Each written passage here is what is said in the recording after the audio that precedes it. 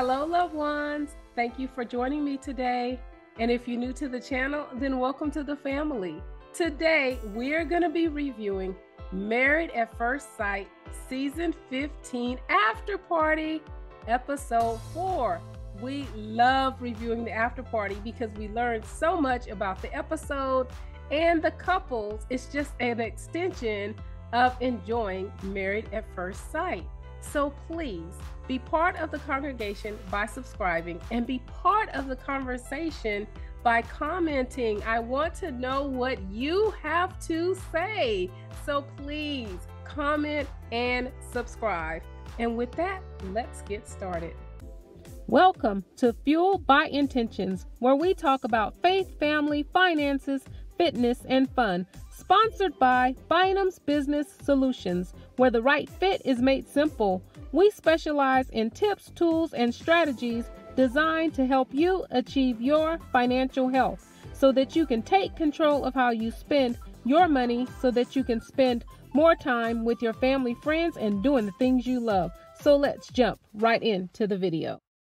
The episode is hosted, of course, by Keshia Knight Pulliam, and her guests are Nate, Morgan, and Alexis. And she gets the party started by asking Alexis about her look and what is channeling her look because she just has like this covering on her face. She's looking very matronly like. And hey, Alexis dives right into it. Alexis says this is how she pictured herself as being a wife, super dramatic, going to PTA meetings, looking for her children, and Keshia Knight Pulliam, she makes sure, it wait, so you're going to be a mother because if you're going to PTA meetings and you have kids, then you're going to be a mom. But it sounds like Alexis is taking it all in and she's definitely okay with that. So we find out that Alexis is not opposed to having children and I guess sometime soon. The episode and the cocktail is called Wet and Wild, and she tells us that it's in honor of Stacia and Nate's steamy shower episode. We then go to our first clip. And our first clip is with Ben and Morgan. And this is Morgan's first time on the after party. So, welcome to the after party, Morgan. And it shows the clip of Morgan, them, the pastor telling Morgan that Ben is there's another woman in Ben's life, and it's his he's a proud mama's boy, and he values his opinion the opinion of his mom on every thing. But Morgan says that she loves that he is a mama's boy because she loves her mom and she has a great relationship with her mom. And she really did appreciate that. Morgan says that she's a pretty guarded person. She's going to be open to all the possibilities and try to be accepting because he is a complete stranger. Keshia then asked the question did you have a close relationship growing up with her dad? And she lets us know that she didn't, that her mom was her rock, but she really didn't have a relationship with her dad. Keshia says, What is your first thoughts when you see Ben for the very first time? Morgan says that she sees that Ben has a huge smile, which tells her that he is a happy person. He looked amazing in his suit, and he is her type she would choose him if she just saw him out in a club or partying or somewhere out that she would choose him. So i really love that she has that attraction. Nate says that ben and morgan they look good together. They look like they have chemistry and he is rooting for them. And then alexis says that ben and morgan look like the stock photo in a picture frame. And i thought that was a nice compliment. They then show clip number two, and it is where Ben and Morgan are talking after they just got married. And Morgan is trying to explain to Ben what she does in terms of Muay Thai and what is. He's like, is it kickboxing? Is it wrestling? Like, kind of like, what is it? Is it jitsu? Jitsu? And she is telling him that it is not wrestling, it's not kickboxing, that you cannot fight them when they're on the ground, but she can kick them, she can hit them, and she can wrestle them down to the ground. She just can't do anything to them when they're on the ground. And I love Ben, he says, No, she says, I will, I can do that. He said, You can do that? She says, Yeah, I can do that to you right now. And he says, Oh, I'll keep in mind. Now, I don't think that anybody would want their wife or whatever husband either to tell them that they could do the kick them to the ground right now. Hopefully, you wouldn't want to do that to your spouse, but I love his answer. He says, I'll keep that in mind. Keshia then makes a point about the women in this season that they're very strong, independent, and powerful women and asks her if she thinks that Ben will be able to handle her. And she says she hopes so because they're married now. She says she usually dates alpha men, men who are like take control when something happens to her car, but she's to make a go at it and see how it goes with Ben because he does not seem like he is the alpha type. Also, she said that maybe this will be a good pairing because she's kind of alpha, the people that she dates kind of alpha, so maybe they kind of bump heads and this will be more of a balance between the two. So she is excited to see how it's going to go with Ben. Nate then says Ben can definitely keep up with Morgan. He's open minded, goal oriented, and he's accommodating. Therefore, they will make challenges work. And Alexis says that her and Morgan, they're kind of similar and they're both spicy. So it's typical for a person to either fight or flight. So she's interested to see which one Ben chooses. They then show the third clip, which is Stacia and Nate talking the day after their wedding. And Nate is telling us that he, when he moved to the States, he was he encountered kids who were savages, which is very interesting word to use because there was a lot of talk about him, him him being mixed and if he's light or if he's dark or where he fits in. And that made him have a complex. And stacia says that she has dealt with that as well. We know that they do look similar. And keshia pointed that out saying hey don't you realize how similar like you look he says that him and Stacia have only been married for one day, but they already have a deep connection and deep level with one another. He can he then says that they have a lot of chemistry and that he is loving it. He feels good about their deep conversation. He likes that it's not an awkward silence and they've had pillow talk and held hands and went to sleep cuddling after the ceremony is what they did. And things feel natural on day one. He is very thankful for that. Keshia then mentions him selling knockoff bags and he says that he used to sell knockoff designer stuff and he would post things online and then pull up, and I guess people would buy him. But that experience made him understand that he is an entrepreneur and he has a hustle mindset. He discovered that he needed to course correct and that it had to be legit. He will definitely, it was definitely a learning experience, but every chapter in life is a lesson for him. He is all about self improvement and he never looks back. And I think that this has been his consistent. And I love Keshia, she actually complimented him, saying that, you know, some people just want you to see their highlight reel. So the fact that he has allowed us to see a little deeper into his background, that that's great. I agree with that. I agree with that. Like, it's not all about your highlight reel. Sometimes it's about the journey that got you there. So I'm very proud of him that he wasn't embarrassed or afraid to share that he has let us in to his life and helping us understand how he became the man that he is today. Morgan says that she loves that Nate took a really big lesson from that, but it also showed him what he was good at. And he is extremely successful and he has a successful career. And it shows you that you can take a lesson and grow from it. And I thought that was a great discussion, great conversation. Definitely a great conversation, something that we can all pull from in our personal lives. Keshia then asked both Morgan and Alexis what do they think about Nate and Stacia. Morgan says that she loves how they came from similar backgrounds and they had similar childhoods, but it's really amazing how everything that they've been through made them the successful people that they are today. She thinks that they are a perfect match. Alexis says that they are a power couple and their personalities will balance each other out. Nate informs us that when the cameras went away, they talked till about 3:30 in the morning and then they just fell asleep. He confirms that Stacia did not sleep with her eyes open on the first night. Keshia then touched on his friend saying that he was a freak in the sheets on the wedding night and he says he does not know where he got that from. He then threw his friend under the bus and says he thinks it came from his friend Derek. And the girls were like, Well, how would Derek know? How would Derek know that? But I felt like he was denying it and saying that that was not true. And he really did not know kind of how that conversation or where that came up. And I think that that's consistent with his reaction at the wedding when he looked like, Where'd you guys get that from? They then show the clip of Alexis talking to Kara and Justin's mom. And it's where Kara is saying, Hey, what are you going to do in this relationship? Because it's not fun all the time. Something times things are just boring and you can't just get up, run, and leave. And Alexis indicates that she is tired of running, she is tired of leaving, and that she is just going to have to sit in the uncomfortable. And she's okay with that now because you learn so much from being uncomfortable. And I totally agree with that. Marriage is not fun all the time.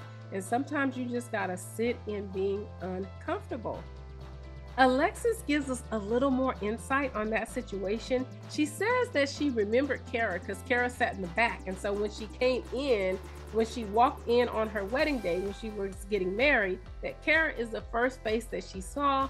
And Kara was really smiling and just really excited. And so she felt comfortable sitting down when she's like, oh, that's Kara. That's the smiling face lady that I saw during the wedding. And then when she kind of started asking her questions, she was like, oh my God, like, you know, where is this coming from? She tells us that Kara is a friend of Justin, that she's married to Justin's best friend, Roman. So that is the connection in terms of Kara and Justin.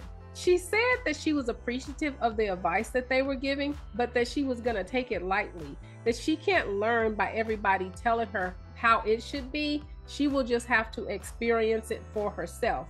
She appreciates the input, but they don't know Justin as a husband.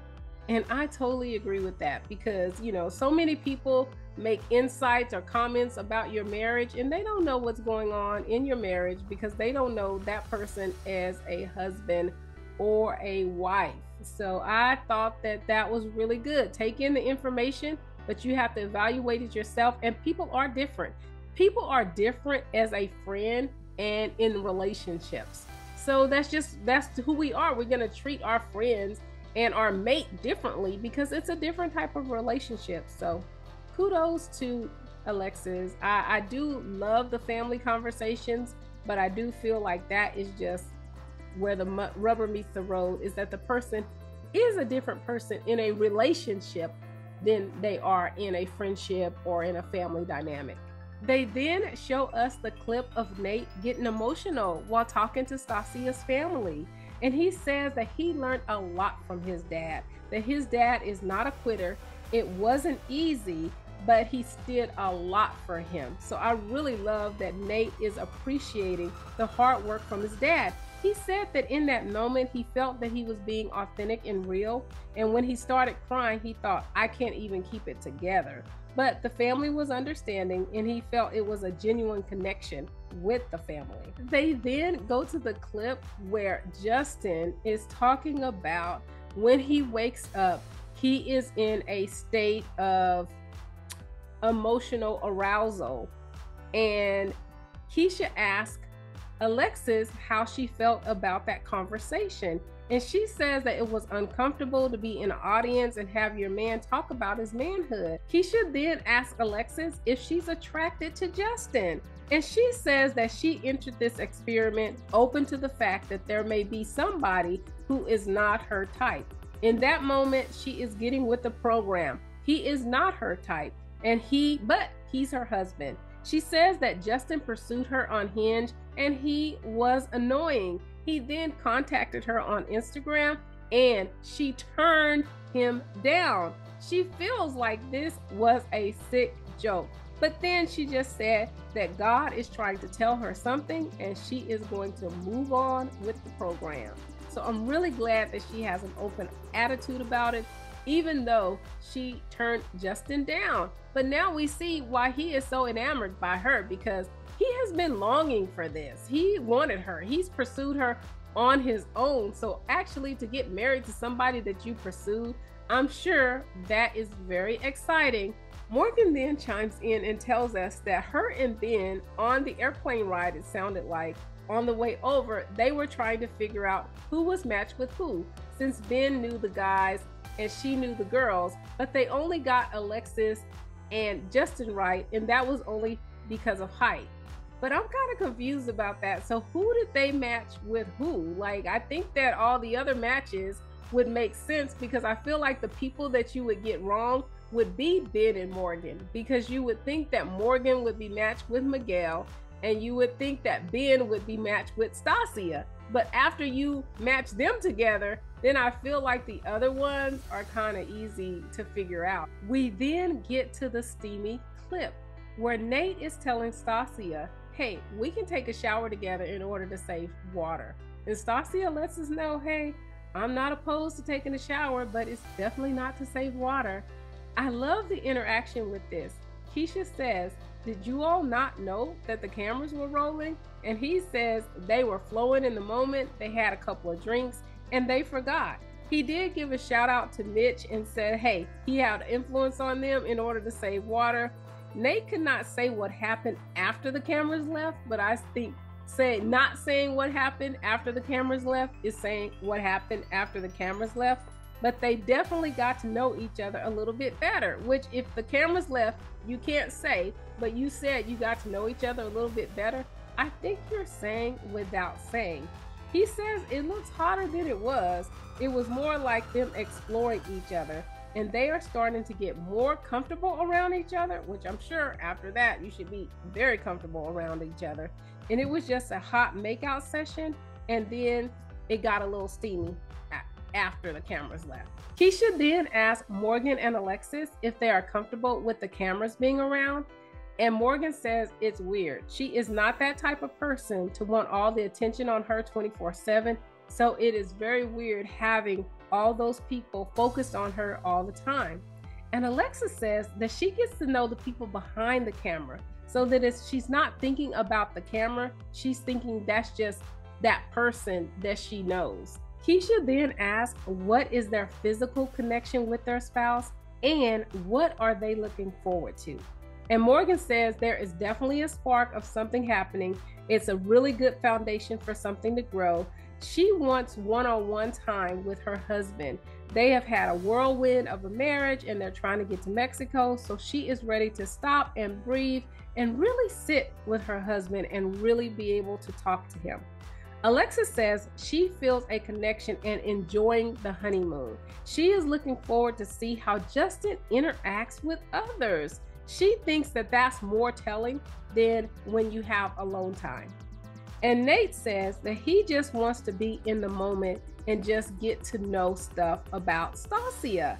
He says this is a good window for them to connect on a deeper level, and he is ready to have some fun.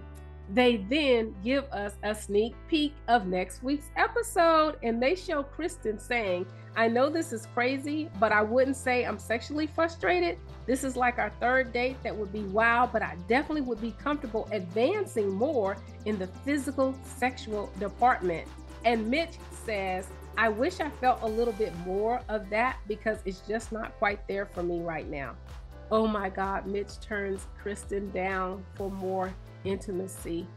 That's very unusual, but I don't know. He said some things in this episode that I think is on par with his personality. So we'll see what happens next week. What did you think? What did you think about the after party? Do you think Wet and Wild was a good name for it? What did you think about the look of Alexis? What did you think about meeting Morgan and how she feels about being and that she has no problem with him being a mama's boy?